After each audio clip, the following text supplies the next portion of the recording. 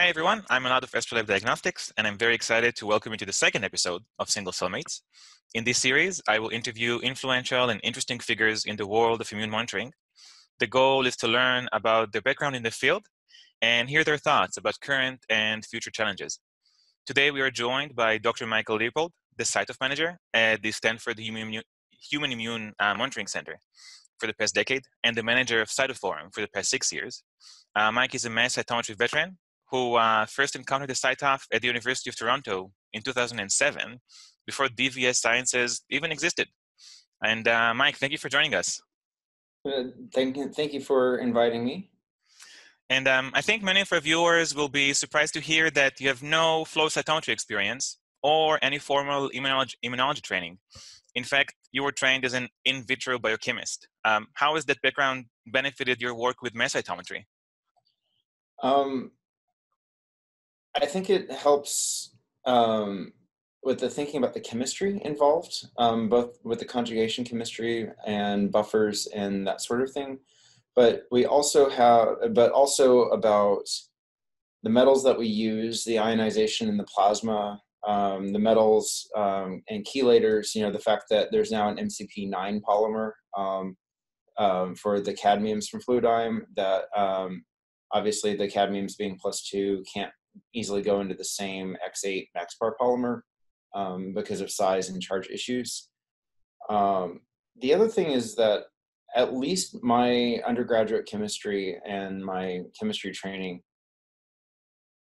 there was a lot of instrumentation that um, I had to learn that I had direct hands-on experience with, and including tearing machines apart um, as necessary. And so um, to be sort of in charge of an instrument, you have to not be scared of tearing it apart. Um, hopefully, you can get it put back, put it back together. Um, so, I think that's good. Um, and then, sort of a lemon, um, making lemonade from lemons. If I don't have any experience in flow, I don't have anything bad to unlearn, um, which is definitely a, an issue we've had with some people. And actually, along these lines, do you have any recommendations for flow cytometrists or flow cytometry users who are entering the world of mass cytometry? What do they need to unlearn? Um, I mean, one of the first things is having to think a lot more about panel developments. Um, I think I think now with the spectral flow, um, with having much larger panels and that sort of thing, I think there is a better i think a lot of flow people are having to having to go back and reevaluate their panels um, but there are a lot of poorly designed panels in flow just like there are a lot of poorly designed panels in CyTOF. Um, and i think that that is something that really needs to be reconsidered i've had a lot of issues with people wanting to throw a bunch of things into, into dump channels that may not be wise in their experiment because they're used to having to think about oh i only have eight channels that i can work with you don't mm-hmm. have that issue in CyTOF.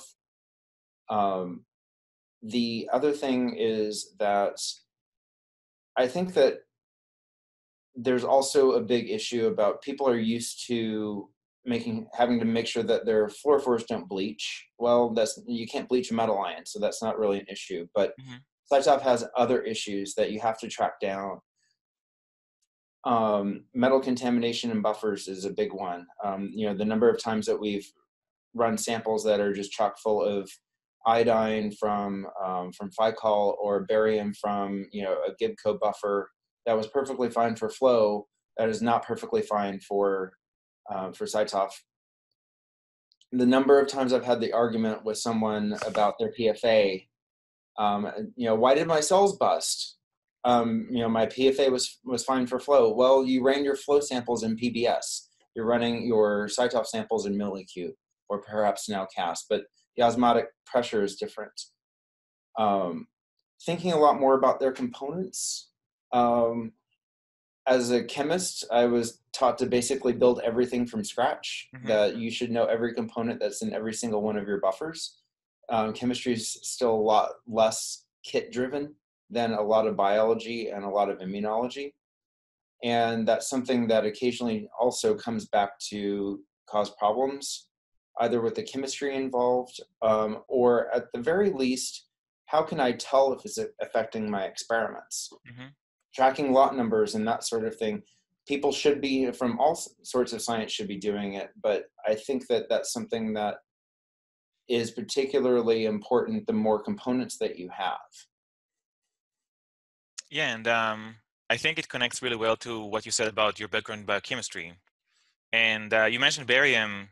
I think there's an ongoing discussion inside the forum right now about yes. some sort of barium contamination. Yes, and it, and how to detect it um, in your samples so that you're not wasting your time running sample or staining samples that you can't even run um, mm-hmm. because they'll blow the top off the instrument. Um, that's an ongoing issue. It's not just for barium, although barium is one of the more common ones. What do you mean when you say below the top of the instrument? Um, so where so barium 138, I believe, is something like 85% of natural abundance um, barium. Mm-hmm. So th- basically, you generally only see the the 138 um, track. If you can see the other four or five isotopes as tracks, then your barium signal is way too high and you can actually be causing damage to your um, CyTOF's detector or or to the mass to the mass spectrometer itself um, basically you're shortening the lifetime of the detector okay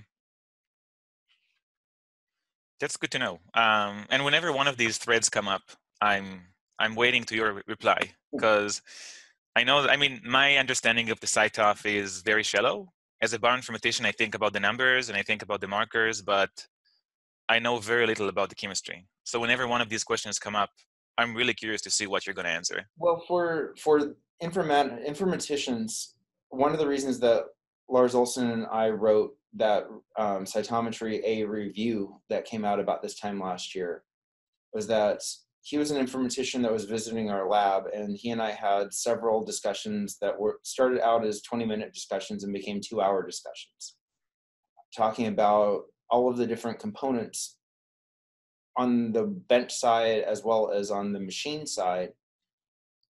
And so something like something as simple as oxide spillovers or the fact that you could have a contamination that you that is not present in your data because you're not acquiring the, that channel, but maybe the oxide channel that you're um, is in um, the panel that you're acquiring. So basically, you're having this background that is seemingly out of nowhere, but that's because of some other problem that you have actually in your sample. And actually, when you mentioned this, I think this is one thing that people who come from flow to the world of the CyTOF, they think that there's no spillover. And and, Go and, ahead. And there is, and that's something that was underappreciated um, at the beginning of CyTOF. I mean, mm-hmm. if you go back to the very, very, very early pre DVS Sciences papers from um, Scott Tanner's group um, when they were at, at, University of Toronto, that when they were publishing in mass spec journals, they were actually very clear about this. Oh, really? I wasn't yeah. aware of that. Yeah, so if you go back to you know one of the JA, JAAS articles, there's actually a spillover table that they have. Um, but it's something that was sort of pushed to the wayside slash de-emphasized in the marketing i think yeah um, and that's and i think that that's something that is much better appreciated especially after things like Bill O'Gorman's um, spillover paper. Um, I think that people are. CyTOF's been around for almost 10 years now, or mm-hmm. about 10 years now. I think that there's, I think we're in a process of reevaluation. Um, and I think that that's really good for the field. Yeah, I agree. And I think you, I think you, you meant, you, you said it well, where there was some knowledge that was lost in the transition from the prototype to DVS and from DVS to Fluidigm. And there's a very reevaluation, maybe even a rediscovery of some of that information. Yeah. And, and that's one of the reasons why I've tried to make sure that even those early papers are, are have been posted to Cytoforum's literature subforum mm-hmm. so that they at least are there so that if you are somewhat crazy and want to go back and read, um, you know, 800 papers about CyTOF, all there. Yes, and Cytoforum is an excellent resource. So a shout out to that, uh, which you've been curating amazingly well for the past six years. Thank you. It is a lot of work. yeah, but I mean, it's amazing. Um, I think that I'm guessing you were on vacation in December and I didn't get any notes about new papers. And then on January 5th or something, I suddenly got 20 emails. And I'm like, yes, I'm so yeah. happy. Yes, just like I didn't post any when I was away in Berlin for the uh, for the meeting a couple weeks ago, and then had to post about 10 when I came back. So thank you for that. I, I'm I was very excited to see that blast of papers at the beginning of the year. Thank you. Um, so switching gears for a minute, I think your core is the longest running fee for service CyTOF. Am I correct? As far as I know, Adibs is a close second. Um, right. But, but, I think I think the HMC is still was was the very first. I think so. So could you tell me a bit about your service model and what kind of projects do you support? So we are a service core rather than a um, standard flow core. Um, by that, we're almost like a small nonprofit company. Um, we perform mostly standard experiments for people. We do initial data analysis, which is mostly QC related, and then give them back their results in a bill. Um, so as I said, that initial analysis is mostly QC and is basically, in terms of the flow work, basically FlowJo gating templates based on how we have qualified um, the, the panel and the experiment. We do not perform citrus, FlowSOM, that sort of thing um, for, for the customers. viSNE? We don't have, we don't have the bandwidth um, is, is a large part of it. Um, we leave that for the that level of a, of clustering and you know sort of analysis for the customer to do. Um, we also compared to a regular flow core, like we have um, we have a regular flow core that has a CyTOF here at Stanford, which is the more traditional model of they supply the instrument and the people to maintain it, the people to train other people to to run their samples, but the individuals would run their samples we generally don't train non-HIMC people and we don't generally let HIMC people run on our instruments. Got it. And um, and you put a lot of emphasis on on the standardized nature of your service. I imagine that pretty often people show up and ask for an exception or can you just do this tiny tweak? So what's your what's your way of dealing with these kinds of requests? Um, very early on, um, when we were still sort of settling on the the CyTOF model of this. So the flow was a lot easier because our standard phenotyping panel was um, the HIPC LIO panel. So I think there was room for like one drop in or something like that, but that was basically it. Um, there were a couple other assays that were still all liquid reagents, um, but CyTOF was definitely something where um, we tried to come up with a regular panel based on the LIO um, LIO plate panel, and then people started wanting all these modifications. We tried doing it for a while, and it just was not maintainable. Mm-hmm. Um, which is another reason we don't maintain an antibody bank. Um, so, you know, we maintain our stocks for our regular panels, um, but it just became cost prohibitive both in time and materials. If we have a very large project, I don't know, let's say 100 samples or more come in, then we may start talking about um, panel modifications.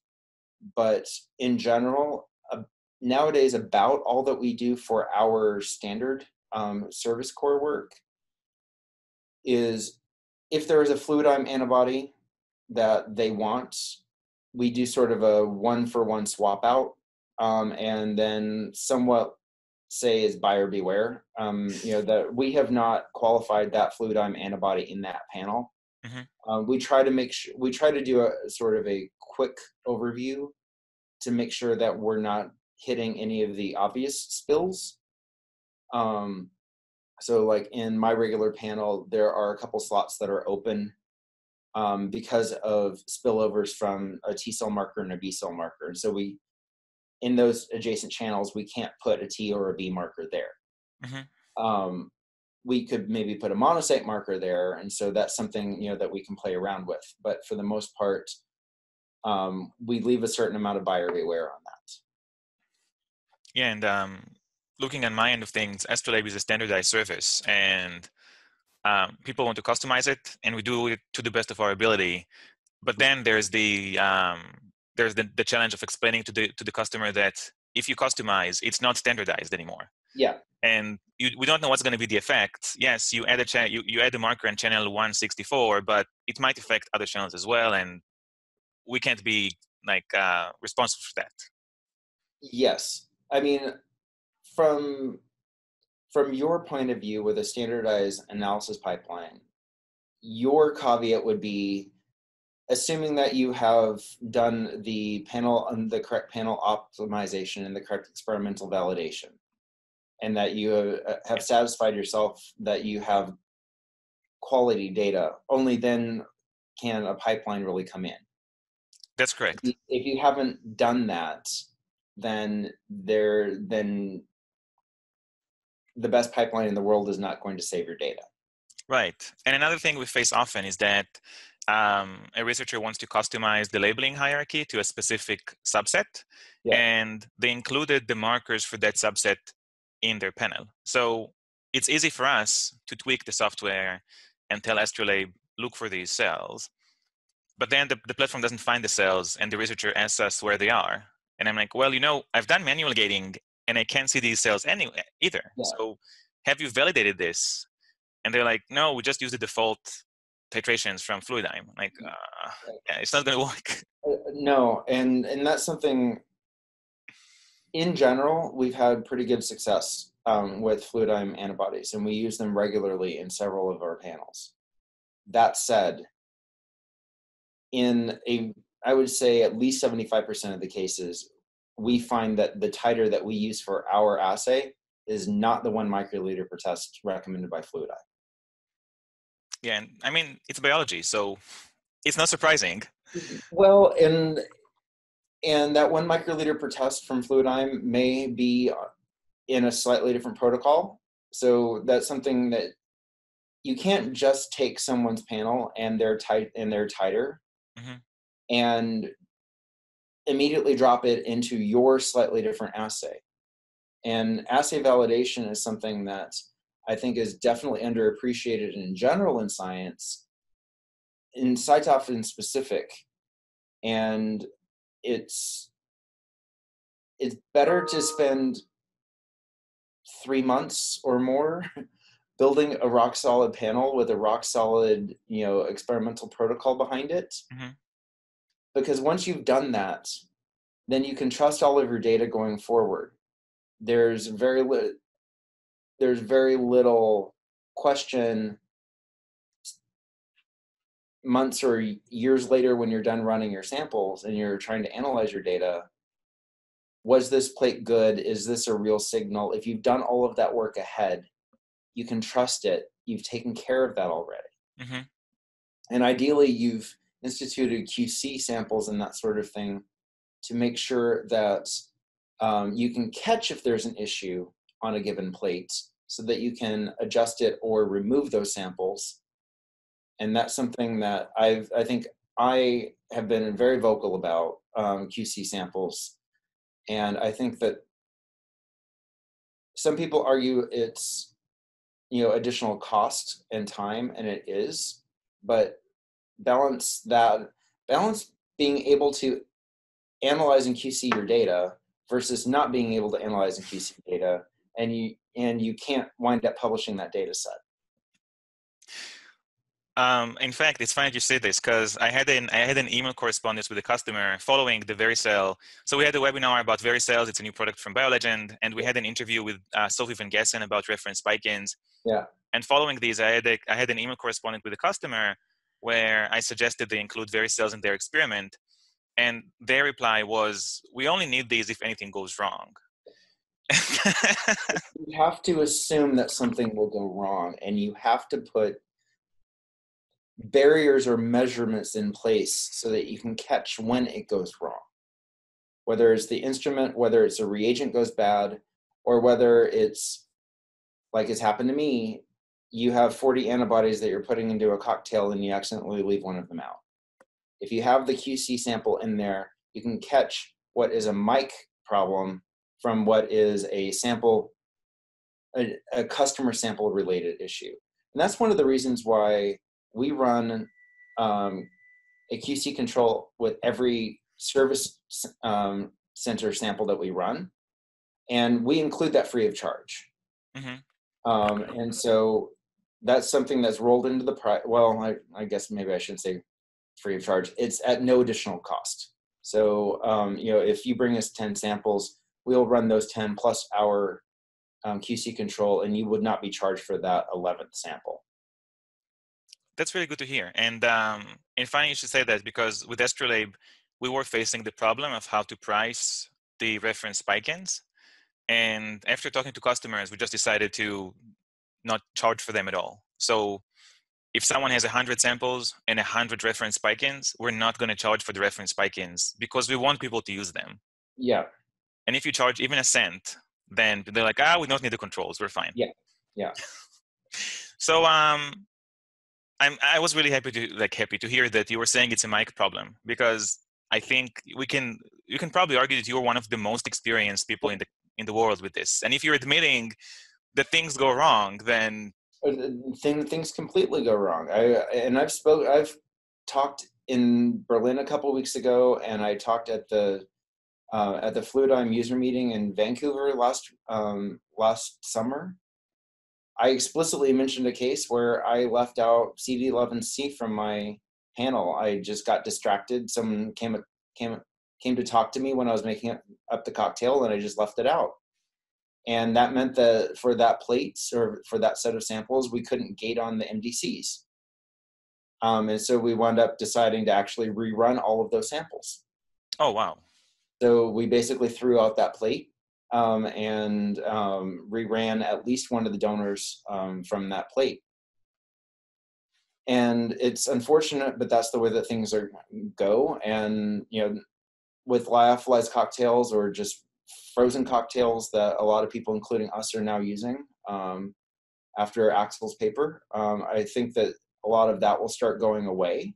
Mm-hmm. But at the same time, it's you know you could argue, oh, I'll just you know make my cocktail with you know with robotics. Well, you can still have a reagent go bad. You can have a oh, yeah. you know your robot's pipette tip get clogged um, or something like that. You have you still have once you've validated a frozen cocktail or a lyophilized cocktail, then you're you should be pretty safe. But you you know it's one thing to use something like that for a couple months. It's something else to use it for a couple years and also you're going to use it in contexts that are different from the initial testing so yeah so things could change in unexpected ways which goes back to the idea of just include the reference control yes so um, i want to talk about publishing for a few minutes and okay. historically very few flow cytometry manuscripts included the fcs data and I was actually going through this over the past week. I was looking for some flow data for an Astrolabe demo, and I really couldn't find much. And the best quality data was ended up being CyTOF. And um, you're, you're a vocal advocate of changing the status quo around that and encouraging data sharing, especially with the CyTOF. Could you elaborate on your reasoning and motivation for data sharing? Um, number one, um, I think we've all read papers that have surprised us. um, or where we feel that the authors have overinterpreted their data. Okay. uh, and if you can, if you can look at the raw data, you can convince yourself um, one way or the other. Um, otherwise, it's almost impossible to redo their analysis, um, mm-hmm. especially with long, complex pipelines. Um, if you have the raw data files, you can, um, even if you don't have their scripts, you can at least do some manual gating or something like that and convince yourself. The other thing is that I've shown, I believe it was last about this time last year, um, that a lot of the the algorithm developers um, for CyTOF data are reusing the same four or five data sets over yes. and over and over again. Um, I when I looked at this, um, five data sets accounted for more than half of the reuse. Um, and I'm not saying that that's bad. I'm just saying that that's limiting. Um, even in the last month, um, the Samusik and Levine data sets from 2015 were reused, but the Helios wasn't even out when, out when those were published. Yeah. Um, the Bendall 2011 science paper, great data set, but that's CyTOF 1. Um, and EQBs didn't even exist at that point. Um, we know that the spillovers, dynamic ranges, sensitivity optima, all of that sort of thing are not the same between the models of the instrument. And the Tricot 2015 paper in, in particular um, was the impetus for people like me and several other core managers to go back and reevaluate, reevaluate our instruments. I don't have hard numbers on this, but my gut feeling is that some of, at least some of the issues that people are having with different algorithms have to do with the fact that they were deliberately or not almost purpose built for certain data sets and that if you take an algorithm that was built for a very detailed highly specific analysis on i don't know phosphodata mm-hmm. it may not where like one of the things about phospho is that in general cell types respond similarly to a, a certain um, stimulus. So, you know, like if if your CD4s respond, all of the CD4s shift. Mm-hmm. To at least a very good first approximation. That's not the that's not the case for stimulations with ICS assays, where only a certain number of your T cells might even make interferon gamma, let alone IL2. And I'm not fully convinced that you can just take something that was purpose built for CyTOF and put it in and immediately drop in an ICS um, data set. Oh no. And wait, is anyone doing that, that? I think that that's something that's underappreciated. Um, and I think that I would like to see more people being like Sophie Van Gassen and a couple other people that in their papers they generally talk about where their where their algorithms work and just as importantly where they do not work mm-hmm. i don't think that every algorithm needs to work on every data set but i think that the developers need to do a better job of actively trying to break their own algorithms to find out where they work and where they do not work and i consider that to be part of the development yeah that's a great point and um, going back to my viSNE paper from a few years ago, there's a whole supplement with different benchmarks and uh, different scenarios where we did manage to break the algorithm, but unfortunately it ended up in the supplement. So many people don't see it. And well, and and that's supplemental material is a whole other. um, but um, at least you can say somewhere in the experimental that is part of the main paper you know something about you know these this algorithm works well on this type of data but um, may have performance issues on these other types of data see supplemental figure seven or something like that like mm-hmm. you can at least drop a sentence or two in it and then and then direct it to the you know 15 pages of supplemental material that you've gone through or your GitHub site or or whatever, um, wherever you've decided to put that. But I actually have more trust in an algorithm where the developer, him or herself, has said, it works on this, it doesn't work so well on this. Mm-hmm. Because I feel like they have, like they actually understand the entirety of their algorithm. Yeah, that's a great.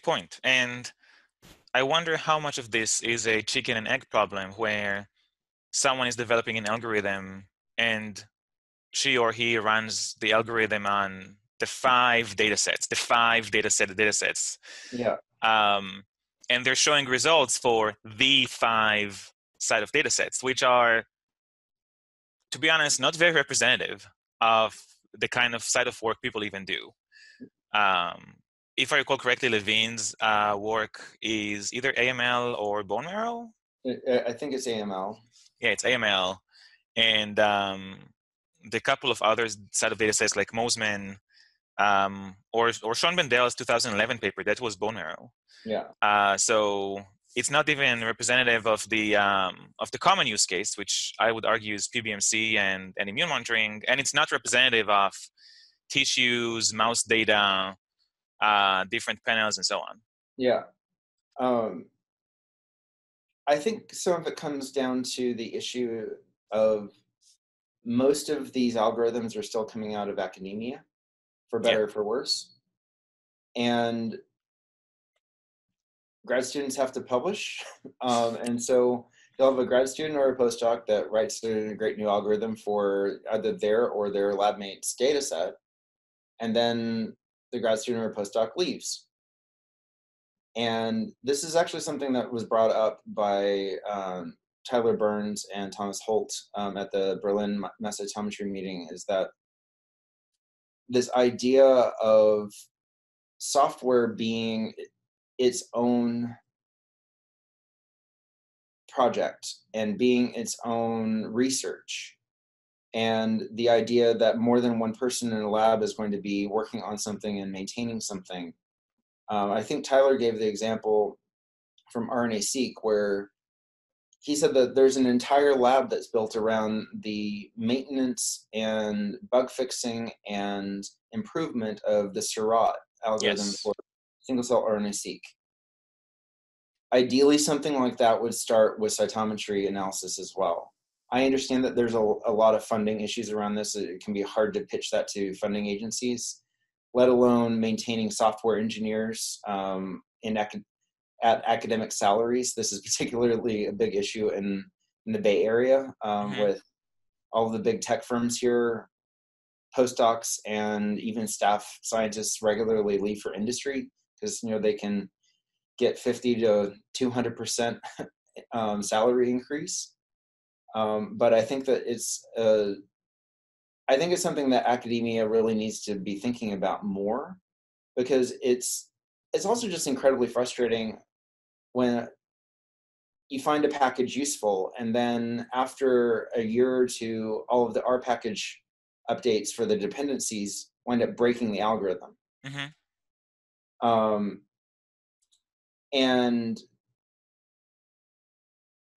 that's I, I, think that that's a basic problem um, you know even something that's relatively widely used like CyTOF kits um, about a year ago bioconductor took it off um, because it wasn't sort of being actively maintained and, and updated. And there is a, um, a Kit 2 that you can find, um, but as far as I can tell, that that's um, still in a development phase rather than a public release phase. Yeah, it's still on GitHub, but not on Bioconductor. Yeah, so and that's something that a lot of uh, like a very large number of people use, mm-hmm. and it's sort of being maintained, but I don't know that it's being actively maintained. Um, certainly not in the way that you know a, a commercial package would be. Yeah, and I, I think you you hit the nail on the head where you said that it's an academic lab and they're guided by by funding and by how to get the next grant. And unfortunately, maintaining software is not that. Um, there's actually an initiative from either from the Chan Zuckerberg Initiative or from one of these similar uh, funds where they're going to fund open source projects. And the grant application is we have an open source project and here's the plan on how to maintain it for the next three years, give us money. And I think that that's fantastic. Yeah. So I hope we can see more of these from more official, let's say, government funding sources because i think that would encourage researchers to take that path. I, I definitely think that that's important. I mean there have been more than 100 algorithms that have been applied to CyTOF data. Mm-hmm.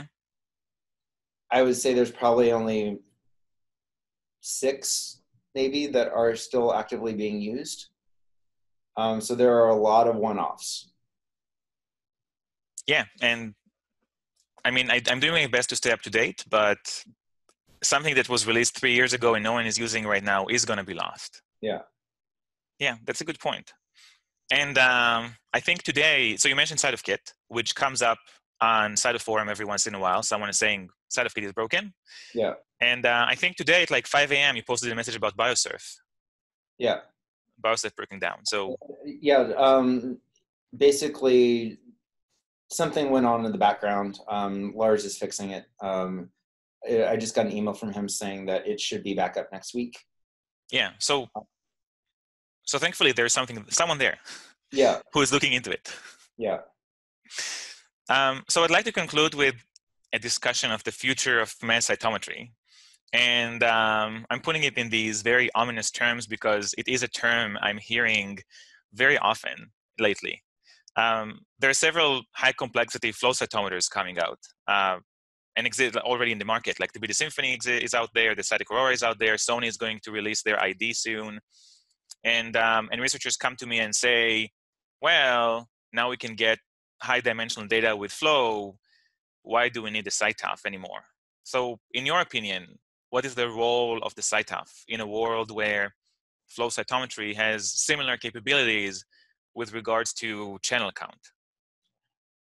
I mean, this is definitely something that's coming up. I think there were at least three posters at um, CYTO 2019 about this, and it's also something that I was asked about um, at uh, the the Berlin meeting. CyTOF still has an advantage in the number of channels, um, mm-hmm. especially with the release of the cadmium labeling kits. Um, you can now pretty easily get up to at least 50, um, whereas at least the at least the highest plex flow panel I've seen for an Aurora um, is 38 to 40. Um, yes. So I think that CyTOF is still ahead. Um, you know, as chemists make more fluorophores, um, there will probably be, um, you know, an, an increase in that. Um, but at least for the time being, CyTOF is still ahead. Um, so I still think that CyTOF is best served as a discovery tool. We can put more things in, uh, you know, put more markers in. It's slower, it's destructive. So build your as large as you can CyTOF panel. Do a pilot, try and find something of interest, and then as Sean Bendall and some other people have shown, take your large CyTOF discovery panel, whittle it down to something that is more tractable by flow, mm-hmm. and then then run your hundreds or potentially, God forbid, thousands of flow samples, um, and get your throughput that way. If it allows you to sort that sort of thing too. Use the machines in their best way rather than arguing about which one is better. Mm-hmm. You know, I'm I'm biased. Um, you know, as as someone very heavily invested in the in the CyTOF and with basically no flow background, um, I think that you know, of course, I'm biased, um, but at the same time, I do think that the instruments have their own strengths and weaknesses, um, and I don't, I don't understand from a researcher point of view rather than a industry marketing point of view arguing about which one is better. I uh, I'm I'm answering similar questions on which is better, t-SNE or UMAP, and like just pick one and see what happens, and you can. I mean, just use the tool that you need. It doesn't matter which one is better in some abstract sense. Yes, because you and I have both read the paper saying that oh UMAP is better or this implementation of t-SNE is better. Or, I mean, at at some point, just pick one and and stay with it. Um, um, but yeah, to a certain extent, some of this quibbling about which one is markedly better. Like if obviously if one works really well and one of them doesn't, you know, just like with a clustering algorithm, you still do see some people publishing with like DensVM or something like that. But you know, on on a PBMC data set, in my experience, DensVM will give you like 10 clusters. Well, I can manually gate more than 10 clusters um, out of a, out of a PBMC phenotyping panel. Therefore, I don't use it because I don't really believe the results. I, I um, whereas arguing at a high level about which which is better, FlowSOM or or Phenograph, I personally use FlowSOM more because I don't really like downsampling. Um, but at the end of the day, for the same you know num- for the same sampling level, they're both they're both perfectly fine. Yeah. And likewise, going back to the uh, spectral flow versus CyTOF discussion, I imagine that for many use cases, they're they're equivalent in many ways, and depending on the experiment, one might have an advantage over the other. A very common solution, like if your institution only has a CyTOF and doesn't have, let's say, an Aurora, then you should probably use the CyTOF. Yeah. And vice versa. Um, but I like your perspective where the CyTOF is a very powerful discovery tool. And you can start from that and then go back to the flow. And that might even be recommended. Maybe you should aim to go back to the flow once you know more about the data.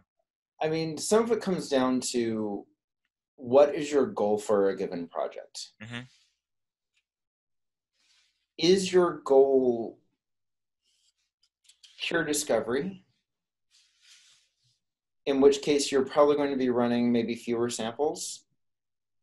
Um, or is it going to be more bordering on the clinical diagnostics? If you if your goal is closer to clinical diagnostics, then you should be running flow because it's faster. And you know you can crank through hundreds or even thousands of samples a lot faster than you could ever do by by CyTOF. Mm-hmm. But I like I said, from number of markers alone, I think CyTOF still has the edge in, in pure discovery. Um, and therefore that's probably where I would start. You know, if you have 500 samples, maybe take 50 of them, mm-hmm. do your CyTOF, or, or maybe even 100 of them. You know, do your CyTOF on a representative sampling of this of the samples that you have.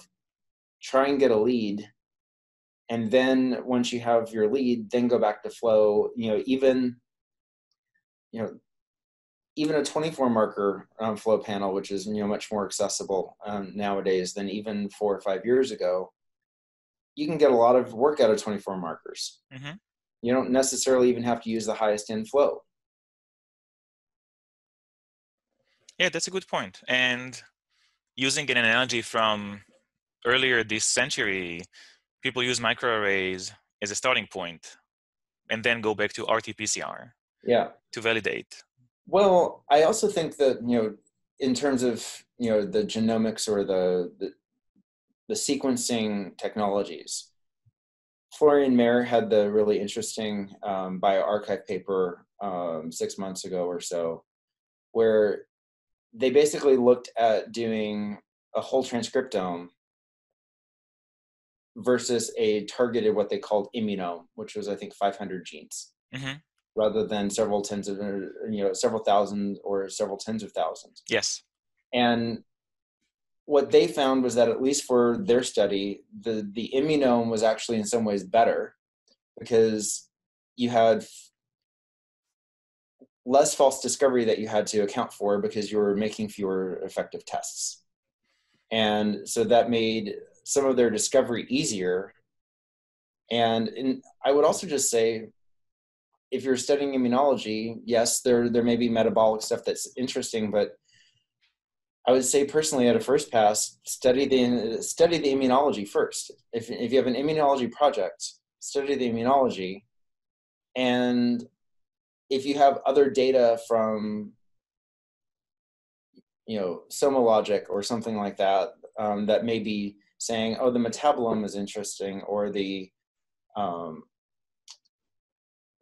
uh, serum cytokine profile is interesting, then you may want to go back and you know do do some sort of follow up. But I think I think there's something something to be said for casting your net widely. But I think there, I think Florian's paper to a certain extent shows that you can cast it too wide and wind up missing some things. Yeah, and um, as I mentioned in the talk yesterday, the more the wider you throw your net, the more opportunity for multiple testing correction to mess up your yeah. p-values and false positives, as you pointed out. So I really like the approach of choose the uh, choose the resolution that you need based yeah. on the experiment. Yeah. Great. So I think this concludes uh, today. Anything else you want to add on your end? Um,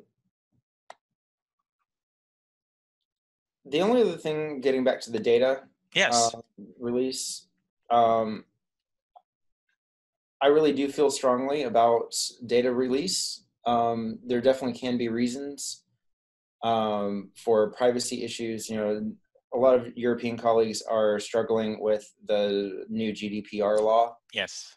Um, and the impact that it is having on their even ability to ship samples. Um, it, you know, the lawyers at their institutions are playing very conservatively with it, and it's causing some difficulties in some of their research.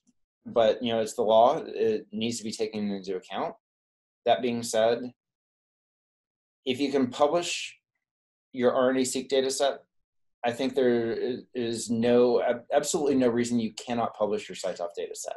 Mm-hmm. Um, privacy would seem to apply to both.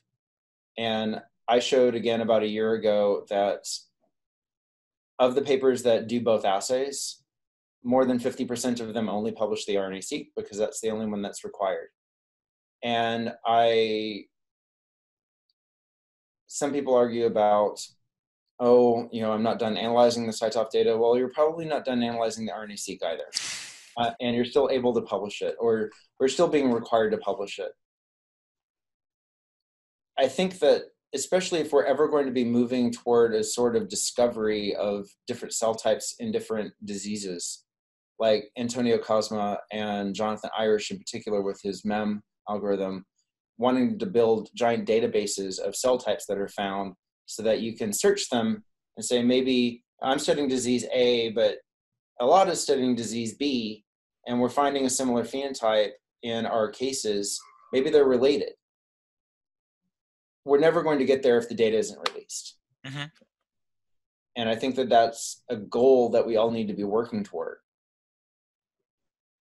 That's beautiful. And um, earlier in the conversation, you used um, algorithm development and and uh, result validation as arguments for data sharing. And I think that what you said now is a much more powerful argument. Like, if we want to promote science, then we're going to need this. And I, I'm a big science nerd and science geek. I like science. I want to advance science. That's one of the reasons I work in an academic institution is that I do have that sort of blue sky. I want to, I want to push push the boundaries of science. And I think data sharing nowadays is one of the, is one of the best ways to do it. Mm-hmm. And even something as simple as what does a healthy person look like? You know, there are more and more papers that are coming out in the last couple of years of what does a how does someone's immune profile change over time or over the decades? And with the flu studies that we've been doing at Stanford, some of that's starting to be answered now, and we're very slowly, unfortunately, putting the the data up on ImmPort. Once all of that's up there, there will be more than more than a thousand pheno- CyTOF phenotyping samples up mm-hmm. that represent what, at least for the flu studies, which are CyTOF data was performed on pre-vaccination time points, so they're generally healthy controls of both genders, several age bands, most ethnicities. That alone, I think, will be a great data set, and you know we're definitely getting papers from that. Um, you know, Shai Shen-Orr um, in Israel is one of the main people analyzing that, and there was the um, clinical age definition um, paper that was published last summer. Right. Mm-hmm. We get asked all the time for data on healthy controls. You know, a researcher will come to us and say, "Oh, I don't actually have a control for this. Do you have data that we can look at?" Well, we're slowly publishing that. Mm-hmm. even just knowing what a general healthy person looks like, I think is a laudable goal. Let alone how does unhealthy in the case of disease X or condition Y, what does that not healthy look like relative to healthy? Even if you will wind up having to recruit your own for your study, recruit your own healthy controls. If there are data sets out there for you to look at and get a place to start, that will inform your experiments and potentially even inform your study design. That's good to know. And, and when do you think the um, that data is going to be available on ImmPort? Um, I believe this January's release of ImmPort's um, covers um, the flu studies out through um, at least some of, t- of the 2015 flu year. Oh, wow. Um, and it's ongoing. Um, so I know that there are more data sets that have been generated and are in the process of being uploaded. ImmPort, for some strange reason, only releases data quarterly. Mm-hmm. So hopefully over the next quarters of the year, more and more of the data sets will be released. Um, so you know, stay tuned. Um, but you know, even now, um, several of the of the flu studies um, are are already up there for for the for the different flu years. I think now there are at least a few hundred samples. There's not a thousand, um, but there are at least a few hundred that are already up there. That's great, and it's also a strong argument for other people to publish their data.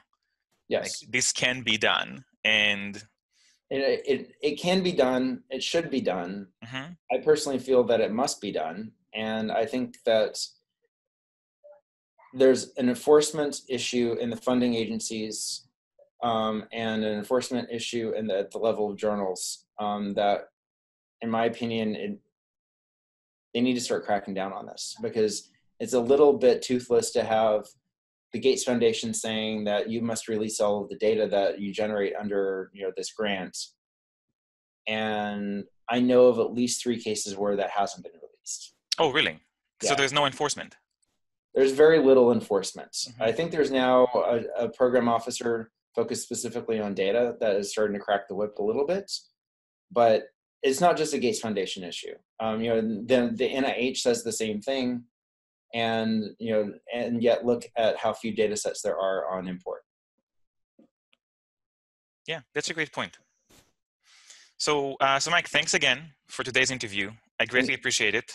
and uh, thanks for having me and it's it's been interesting doing my first podcast Yeah, hopefully we're going to have more of these in the future.